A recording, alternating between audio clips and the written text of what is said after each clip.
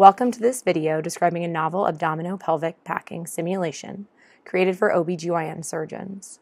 In this video, our objectives are to 1. Describe why OBGYN surgeons should be familiar with abdominopelvic packing and its use in the setting of placenta accreta spectrum. 2. Introduce our simulation as an effective teaching tool for trainees and surgeons learning to perform pelvic packing. And 3 Describe and model our simulation so the viewers are prepared to lead the simulation at their own institutions.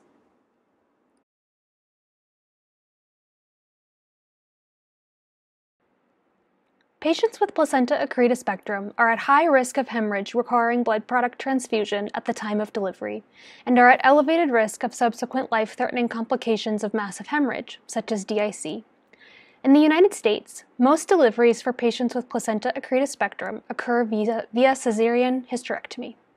Although diffuse ongoing bleeding due to refractory coagulopathy is not frequently encountered in obstetrical surgery, patients with placenta accreta spectrum undergoing caesarean hysterectomy are at uniquely high risk of this occurrence. Abdominal pelvic packing can be a life saving tool in management of massive peripartum hemorrhage. Intraoperative or clinical situations in which abdominopelvic packing should be considered include persistent intraoperative transfusion requirement despite control of arterial bleeding, diffuse venous bleeding, unknown or difficult to access bleeding sites, frank coagulopathy despite massive transfusion. Abdominal pelvic packing followed by reoperation and abdominal closure in one to three days is an effective, even life saving technique for temporizing diffuse, uncontrolled surgical hemorrhage. The technique originated in the field of trauma surgery. In this technique, the bowel is protected with a plastic drape before the peritoneal cavity is pressure packed with laparotomy sponges. And finally, adhesive tape and sump drains are used to create negative pressure in the packed space. Providing OBGYN surgeons training in this technique allows for its application in placenta accreta spectrum cases, given the high risk for catastrophic bleeding. Simulation is effective at increasing participant skill and confidence at procedures that are rarely encountered, yet require practice to complete well, and therefore we identified it as a useful tool for teaching abdominal pelvic packing we devised a low fidelity, low cost model to simulate damage control packing for diffuse hemorrhage after peripartum hysterectomy, with the goal to increase OBGYN surgeons' skill and confidence at the technique. When we used the simulation at our institution with residents, resident satisfaction on an internal quality improvement survey was extremely high, and residents reported significantly increased confidence in their ability to perform damage control packing in an emergency. We hope that our simulation will be equally helpful at other institutions. We will now demonstrate our packing simulation. The simulation scenario presented was as follows.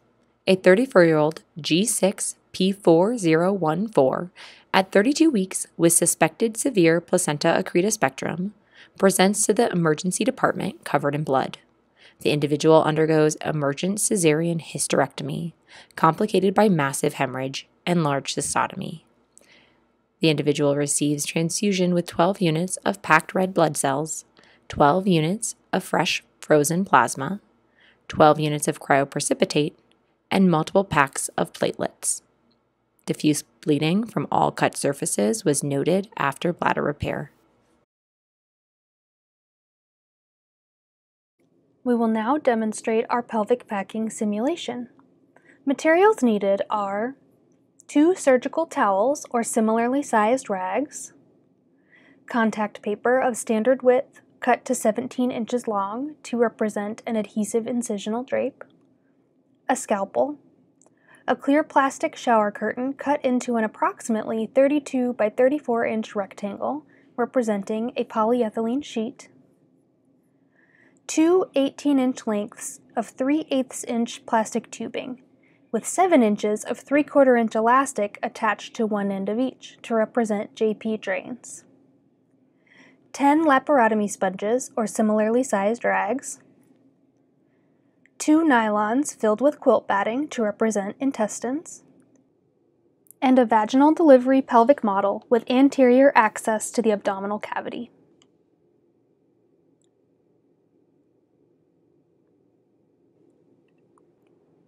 For your pelvic packing simulation, You will first need to load your intestines.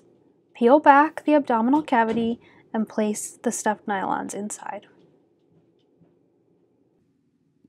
For our simulation, we fold back the abdominal flap to better simulate an open abdomen via Pfannenstiel incision.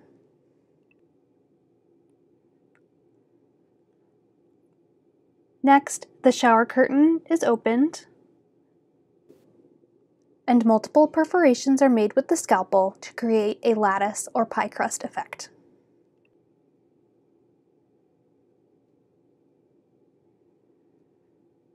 This curtain, representing a polyethylene sheet, is then inserted into the abdomen, ensuring that all intestines are covered.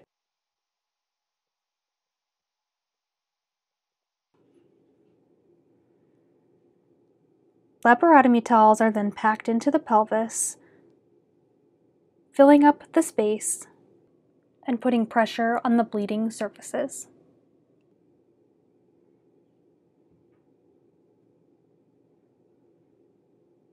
A surgical towel is then placed over the incision, ensuring that all laparotomy towels are covered.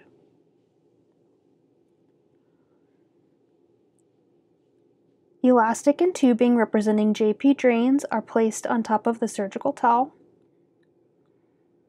and these are then covered with a second surgical towel.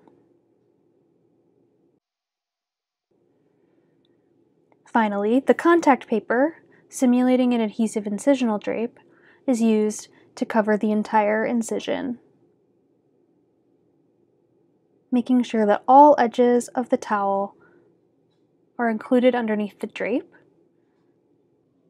and that the adhesive drape is pinched around the simulated JP drains.